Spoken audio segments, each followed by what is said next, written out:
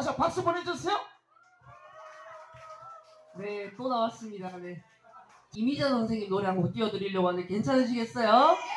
함께 불러주실 겁니까? 여자의 일생 가보도록 하죠.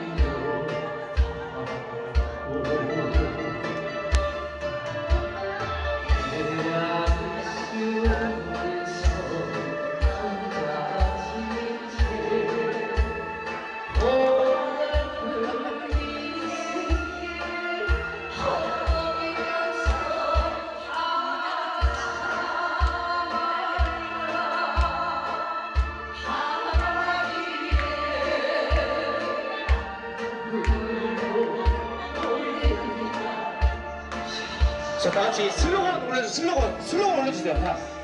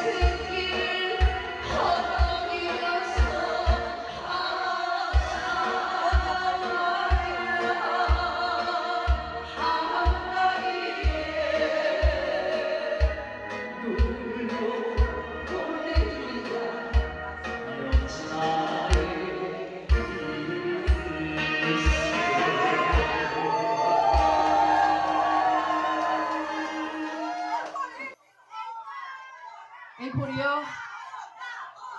오빠, 오빠, 오빠. 다시 크게. 오빠. 이야. 그러면 좀 신나는 노래 가볼까요?